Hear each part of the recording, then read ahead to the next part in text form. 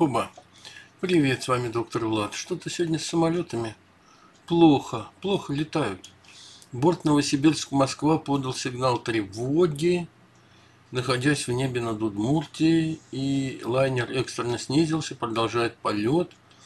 Предположительно, на борту Airbus A320 сработал датчик разгерметизации. Собирается садиться в Перми. А перед этим я рассказывал, что из Владивостока в Москву экстренно приземлился в Хабаровске. Якобы была угроза безопасности самолета. Надо же.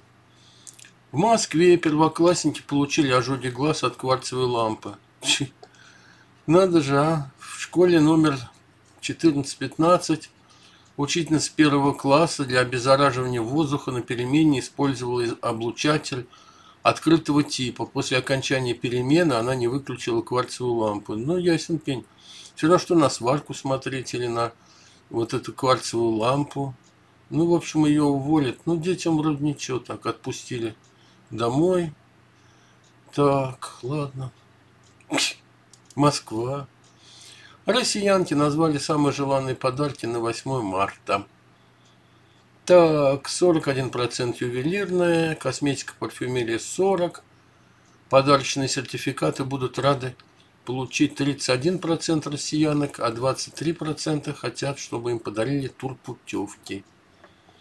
Я думаю, многие женщины на моем канале согласятся посмотреть «Лебединое озеро». Так, ЦИК выбрал слоган и логотип голосования по поправкам в Конституцию. Конститут, раскрытая конституция с криколором, под ней слоган со словами «Наша страна, наша конституция, наше решение». Какая-то дичь. Там, там вообще там запутаешь, там черт ногу сломит в конституции. Это все равно, что Россия будет голосовать за поправки, ну, не знаю, в архитектурный справочник какой-нибудь. Так, в Рязани едят грибы с глазами. Их едят, а они глядят. В Рязани главврач ОКБ сообщил о планах развития присоединенных больниц. Это тоже какая-то чушь.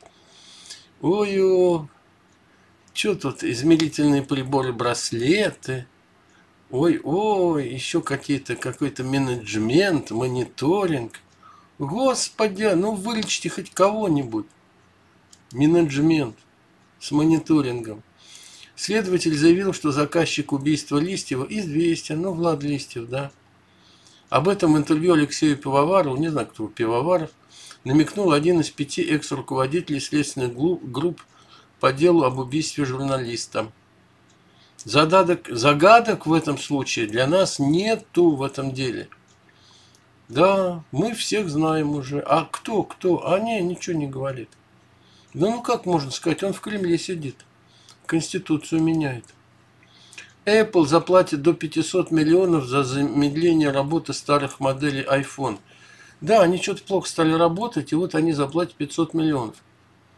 Но не каждому, а каждому получится по 25 долларов. Вот что я не люблю, так это Apple, ребят. Вот у меня к нему какой-то, я не знаю, и символ какой-то разгрызенное яблоко. А. Не люблю Apple, все. Так, комплексы деривации ПВО готовят для, значит, для парада. Ой, ой, ой, впервые покажут на параде. Тетя Надя на параде, молодой комиссар. Ну и что там еще будет?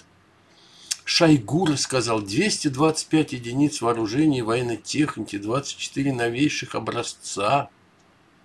Боевые машины пехоты «Армата» и «Курганец» с новыми боевыми модулями «Кинжаль» и «Эпоха». Господи, господи. Семейство защищенных автомобилей «Тайфун». Семейство, папа, мама, дочка, бабушка. Дичь какая-то. О, задержанные в Саратове подростки отрицают подготовку убийства в школе. Я вам рассказывал. Нет, мы даже не думали. Нет, да вы что. И попробуйте доказать, что они задумывали на самом деле, да? Лента.ру в Турции сообщили о гибели мирных жителей после удара ВКС России. Ну вот так, ребят, опять. Москва долбонит по населенным пунктам. Господи. Российский подросток застрелил отца тирана. Отец какой-то у него тут был буйный, многодетная семья, Забайкальский край избивал, жестоко обращался с другими детьми. После очередной ссоры молодой человек взял спрятанное ружье и дважды в него выстрелил. Мужчина скончался на месте. Это сколько ему? 17 лет, Забайкальский край. Надо же. Тоже на ленте. Российские стюардесса и пилот сбежали из карантина в Москве. Наверное, там плохо. Они все бегут что-то. Вот все бегут. Да, сбежали из-под карантина. М? Мрак, убивший дочь из-за хлебных крошек, а Мичка получил 11 лет тюрьмы. Ну это вот, ну как вот, это опять, я не буду подробности, ребята, но опять она свою дочь убила. Уж за что, как, чего, неизвестно. Ужас, ужас. Стало известно о вымогательствах бандитов у военных из части Шамсудинова. Шамсудинова помните, да? Который застрелил там своих обидчиков. Оказывается, там вообще вся часть а, отдавала, ну как, не знаю, оброк, что ли, каким-то этим криминалам, каким-то бандитам. Ну это как вот так может быть, а? Мрак, мрак. В Чите на митинг в поддержку президента Владимира Путина пришли 8 человек. Ой, организатором стал забайкальский блогер Алексей Закружный, автор YouTube канала Леха Кочегар – у которого больше 65 тысяч подписчиков. Как сообщается, Закружно решил устроить митинг для того, чтобы подтвердить или опровергнуть официальную статистику, согласно которой российского президента поддерживает 86% жителей. Ну да, 8 человек. Угу. Турецкий F-16 сбил еще один сирийский самолет. В Сирии нет самолетов своих, это все российские самолеты и летчики пилот успел катапультироваться. Ох, ох. Так. Российский самолет вернулся в Москву из-за технических неполадок. Ребята, это еще один. Это уже третий за сегодня. Вылетевшего, вылетевший из Шереметьево в Болгарию вернулся обратно из-за предупреждения датчика о технической неполадке. Сработал датчик отказа системы предупреждения столкновения с землей. Приземлился уже, да. Боже мой, целый день какой-то сегодня такой нелетный день. Эрдоган. Это спутник, агентство «Спутник» сообщает, что Эрдоган заявил, что у, Турции нет проблем с Россией в Сирии. Да ну, конечно, нет проблем. Они их просто шерстят, как хотят, раскатывают. А вот в Твиттер я зашел, интересно – не, не лезу я со свиным иммигрантским рылом в калашный ряд российской политики. Просто новости из Сирии. Смотрю и думаю, ну какой же он все-таки абсолютно кристаллически чистый наш Владимир Владимирович Путин. Долго и тщательно утюжил он сирийские города ракетами, стоимость которой, стоимость каждой из которых сопоставима с бюджетом небольшого города. Гонял за моря авианосец на мазуте и им же хреначил свои собственные самолеты – Пару раз захватывал и терял Пальмиру, превратил в пыль древний Алеппо, раздавал ордена и звания, топил ансамбль Александрова, ну и так далее. Результат. Пришел Эрдоган с метлой и за три дня все это умножил на ноль. Или Украина. До 2014 она была полностью подконтрольна Кремлю с коммуняками во всех ветвях власти. И вдруг бац, путинская многоходовочка. Теперь это, слава богу, независимо от Москвы страна впендюрил какие-то немыслимые миллиарды для проведения зимней Олимпиады, зимней Олимпиады в субтропическом городе, но не смог правильно передать мочу. И победу отняли. Ну и так далее, и так далее, и так далее. В чем успехи этого невзрачного дяденьки с глазами мертвой рыбы? Да? За что же его так долго и нежно любят соотечественники? За то, что хамон трактором раздавил, интернет отключить собирается. Все правильно, ребята. Когда я прозевал гениальность Путина. Так, тоже твиттер. Как это хорошо, что сейчас не лето. А то представляете, какая бы хрень началась, если бы в Конституцию вносили поправку о том, что окрошка может быть только на квасе. Да, это вообще, это ураган. Так, семьям Навального и Жданова заблокировали банковские счета. Вообще семьям заблокировали. Как хотите, так живите. Так, и что тут у меня еще? Подсчитана выгода от российского бюджета от пенсионной реформы. А, подсчитана выгода для российского бюджета от пенсионной реформы. Выгода для бюджета от пенсионной реформы составила более 20 миллиардов рублей. Блин, обобрали стариков и еще хвастают добычей. Удачный гоп-стоп. Да, сейчас 50 миллиардов ЮКОСу выплатят, еще возраст поднимут. Ну, пенсионный, это комментарий уже. Да-да-да-да-да.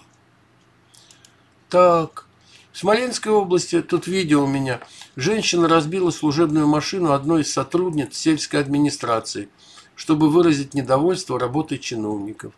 Да, вот ходит и молотком по машине хреначит. Даже какой-то типа топорика, что ли. Это где-где? В, Смоленской области. Да, ребят. Ну, в общем, вы все поняли, да? И у меня для вас сюрприз. Очень интересный ролик от нашего Юсифа «20 лет с камином». Он вообще показывает, у него здорово, уютно дома. Посмотрите, берите пример. Ну, а я с вами пока попрощаюсь до обеда. Пока-пока. С вами доктор Влад.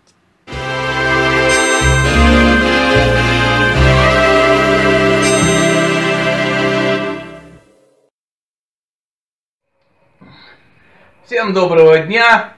Вы опять на канале Бакинские помидоры. Я приветствую наших подписчиков и гостей. Пожалуйста, садитесь поближе к каминчику. Как раз об этом камине я и собираюсь поговорить, который я сделал лет 20 тому назад. Э, я не буду говорить, как я его делал, поскольку камины много разных, много информации, вы спокойно можете это найти и прочитать. Я буду говорить совсем о другом. А именно, недавно меня пригласили э, знакомые поскольку этот дом весь я построил сам, они пригласили мне показать свой новый дом, который они только строят. И когда я зашел в гостиницу к ним, большой дом, красивый, большой, почти олигархи, э, э, камина я не увидел. Потом до этого меня тоже приглашали тоже посмотреть, ну, чтобы просто я мог как бы взгляд со стороны, свежим взглядом посмотреть и дать какую-то оценку. И тоже кабина не увидели, тоже расстроился я. И еще у меня были пару таких случаев. И я понял, что многие не понимают, для чего нужен камин. Вы понимаете, поскольку сейчас системы отопления очень продвинутые, а камин дело неэффективное, люди считают, а зачем нам камин? Это самая большая ошибка. Если вы посмотрите в европейских странах, у всех стоит камин. Камин это раньше делали для тепла. А сейчас камин делают не только для уюта. И основная прелесть камина, основное преимущество камина, что в комнате, где находится камин, всегда свежий воздух. То есть в этом помещении не нужно проветривать. Вентиляция. Да, вентиляция, не нужно делать вентиляцию, всегда свежий воздух. Это основное преимущество. Вот обратите внимание, как у нас находится диван сейчас. Он находится приближен к камину. Для чего это? Чтобы мы зимой это всегда делаем. Летом мы сдвигаем диван вот в этот угол, э, в стенку, и он находится там. А зимой он находится здесь, а это и уютно, и гораздо теплее, поскольку мощность излучения от камина э, и вообще мощность излучения светового потока обратно пропорциональна квадрату расстояния. И еще, отопление нужно прогревать всю комнату, а камин прогревает локально. То есть, если вы пришли с холода и хотите быстро прогреться, идеально это сесть у камина. Кроме этого дивана, у меня есть еще вот такой вот пуфик, который я хотел класть. Кладу ноги вот так вот. И, придя с холода, прогреваю. Это не выпендрешь, друзья мои. Это очень удобно и очень правильно. Вот камин бьет локально, И он быстро прогревает тело инфракрасным излучением. Вот в основном об этом я хотел сказать. Есть еще масса других преимуществ камина. Уют, там всякие, ну, удобно собираться. И это наше любимое место. Не только как... Греет не только физически, но и духовно. Да, ну и духовно греет. И основное наше рабочее место, вот благодаря вот этим столикам, которую очень удачно придумала моя супруга. Это, в принципе, ее место. Сейчас я на нем сижу. Она снимает. Вот она сейчас вышивает свою картину. А вот так мы с моей подругой пьем супругой, подругой пьем чай и около каминчика и смотрим доктора Влада. Всем рекомендую. забежала главного редактора «Спутник Турция». Ух, что такое? А я работаю вот здесь. Всякие у меня это, клавиатура здесь, чертежи, там, бумаги. Вот мы ничего не здесь и не меняли. Вот как есть, так есть. Вот. Единственное, я Очень развалившись вот здесь работаю вот так вот. Ну, когда как. Да. Всем спасибо. Вы были на канале Бакинские помидоры. Приходите в гости на канал еще раз. Я передам титата шедре татай ататат те те те те та шалама пас те те те те те те пом пом пом семе пом семе пом ала ди ди ди ла ла хе та ла